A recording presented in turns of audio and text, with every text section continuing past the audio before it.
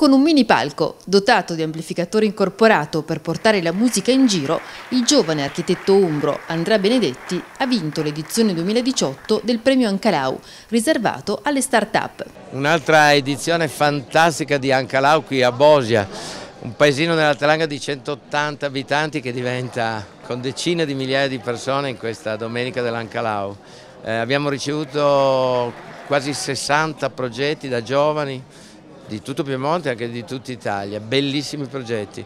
Ne abbiamo selezionati cinque qua, uno più bello dell'altro. Il primo premiato è stato Oscar Farinetti, il quale ha trovato veramente interessante questo premio che trae origine da una tradizione locale di persone molto intraprendenti e eh, Farinetti stesso ha dato lui il lancio a un, a un concorso annuale di start-up giovani. Al papà del movimento della birra artigianale italiana Teo Musso il riconoscimento Local Global. Sono esattamente il simbolo di che cosa vuol dire partire da da, da, un micro paese con un'idea e svilupparla e poi eh, diffonderla. Oggi vendiamo la nostra filosofia birraria in 42 paesi al mondo. Abbiamo fatto la prima birra 100% italiana della storia d'Italia che è nazionale.